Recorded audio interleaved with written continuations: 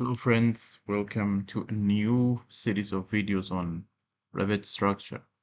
In this video, I would like to show you how to export the DWG, uh, export drawing sheet from Revit structure into AutoCAD.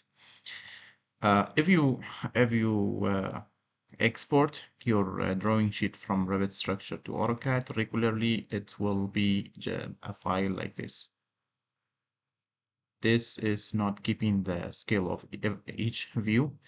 Uh, that's not that's not uh, what we need, but I will teach you how to get exactly like this drawing, like this uh, all, all drawing uh, views, keeping the scales, keeping the titles, and also keeping the keeping the title block. Okay. So first of all, go to File and go to Exports CAD formats and select DWG. Actually, the trick in in uh, in this video is uh, isn't in uh, the Revit structure; it's in uh, AutoCAD. Uh, okay, click next and uh, choose the position. Here we should untick here export views on sheets and links as external reference. If you check this, it will it will export each view as a different DWG file. But you should untick it uh, so that uh, all views are in one uh, in one DWG file. Okay, so click OK.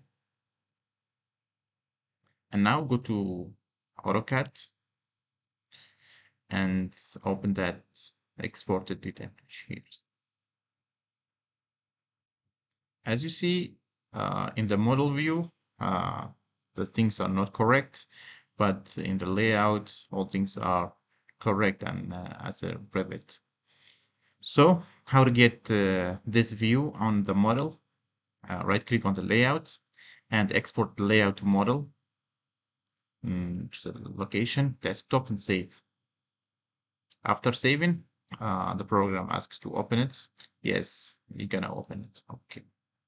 So as you see, we we got the exact uh, drawing views as a Revit, the title blocks and the views, and all views are giving the scales and titles.